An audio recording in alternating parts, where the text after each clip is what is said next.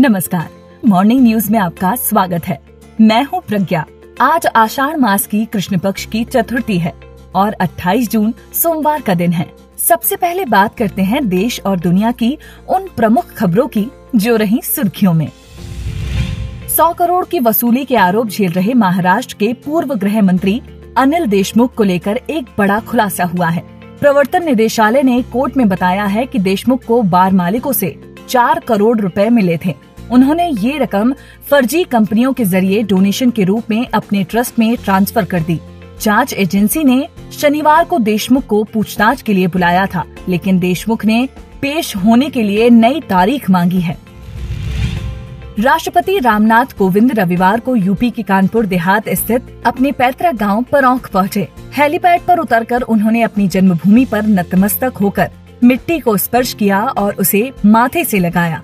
उन्होंने कहा कि मैंने सपने में भी कभी कल्पना नहीं की थी कि गाँव के मेरे जैसे एक सामान्य बालक को देश के सर्वोच्च पद के दायित्व निर्वहन का सौभाग्य मिलेगा। लेकिन हमारी लोकतांत्रिक व्यवस्था ने ये करके दिखा दिया।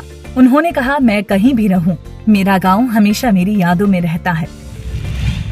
पिछले कई महीनों से चीन से जारी तनाव के बीच रक्षा मंत्री राजनाथ सिंह रविवार को लद्दाख के तीन दिन के दौरे पर हैं। सबसे पहले वे लेह पहुँचे, जहाँ उन्होंने पूर्व सैनिकों से मुलाकात की।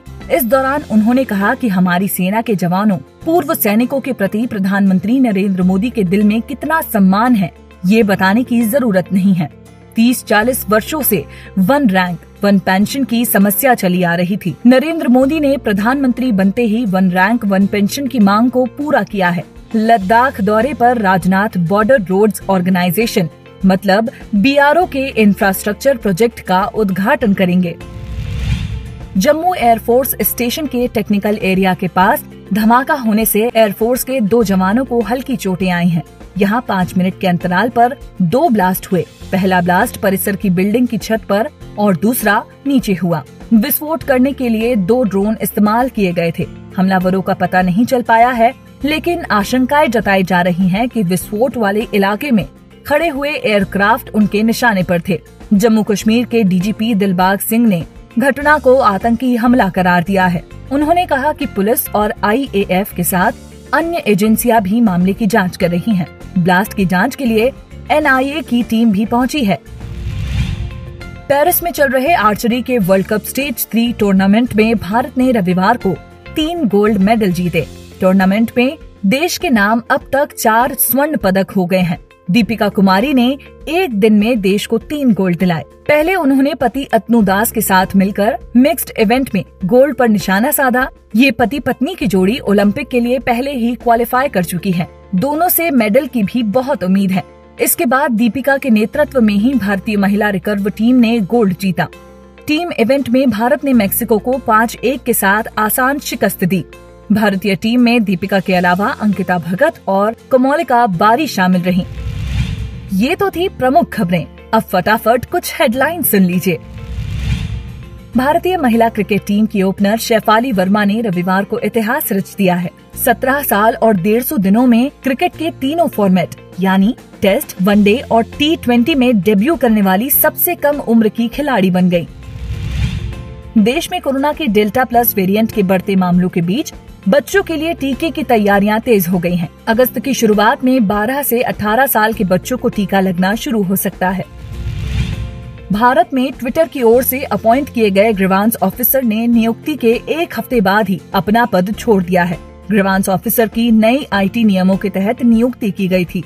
उनका काम यूज़र की शिकायतें सुनना है। कोरोना से जान गंवाने वाले लोगों के परिजनों को मुआवजा देने के मामले में केंद्र सरकार ने सुप्रीम कोर्ट में दूसरा हलफनामा दाखिल किया है। इसमें फिर कहा गया है कि कोरोना से जान गंवाने वालों के परिजनों को चार चार लाख रुपए मुआवजा नहीं दे सकते। अब बात उन इवेंट्स की जिन पर आज हमारी नज़र रहेगी। दिल्ली में आज से जिम और योग संस्थान 50 फ़ीसदी क्षमता के साथ खोले जा सकेंगे। दिल्ली एम्स में दो से छह साल के बच्चों पर कोवैक्सीन का ट्रायल शुरू किया जा सकता है। जानिए आज के दिन इतिहास में क्या हुआ भारत के संदर्भ में। 2012 में तीन दशक से पाकिस्तान की जेल में बंद सुरजीत सिंह को पाकिस्तान ने भारत को सौंपा। सुरजीत पर पाकिस्तान ने जासूसी का आरोप लगाया था। 2009 में भारत के अलग अलग शहरों में समलैंगिकता को लीगल करने के लिए गे प्राइड परेड का आयोजन किया गया। देश भर में मानसून आ चुका है तो आइए जान लेते हैं कुछ प्रमुख शहरों में कैसा रहेगा आज मौसम। मुंबई में अधिकतम तापमान 32 डिग्री रहेगा और बादल के साथ हल्की बारिश के आसार है। भोपाल में अधिकतम तापमान 35 डिग्री रहेगा और यहाँ तेज हवा के साथ हल्की बारिश हो सकती है। रायपुर में अधिकतम तापमान 36 डिग्री रहेगा। यहाँ रुक रुक कर बारिश के आसार है। रांची में अधिकतम तापमान 32 डिग्री रहेगा और यहाँ गरज चमक के साथ बारिश हो सकती है। पटना में अधिकतम तापमान 33 डिग्री रहेगा और बादलों के अलावा तेज हवा संग बारिश के आसार हैं। लखनऊ में अधिकतम तापमान 37 डिग्री रहेगा और यहाँ बादल छाए रहेंगे। शिमला में अधिकतम तापमान 27 डिग्री रहेगा और आसमान बादलों से घिरा रहेगा। चंडीगढ़ में अधिकतम तापमान 38 डिग्री रहेगा और बादल छाए रहेंगे। दिल्ली में अधिकतम तापमान 40 डिग्री रहेगा और यहाँ बादल छाए रहेंगे। जयपुर में अधिकतम तापमान उनतालीस डिग्री रहेगा और गरज चमक के संग बारिश हो सकती है। अहमदाबाद में अधिकतम तापमान उनतालीस डिग्री रहेगा और बादल छाए रहेंगे। और अब जाते जाते आपके लिए ये है आज के विचार। श्रेष्ठ व्यक्ति वही बन सकता है जो दुख और चुनौतियों को ईश्वर की आज्ञा मानकर उसे स्वीकार करके आगे बढ़ता है। आज की मॉर्निंग न्यूज़ ब्रीफ में इतना ही। मुझे दीजिए इजाज़त। कल फिर मिलेंगे। आपका दिन शुभ हो।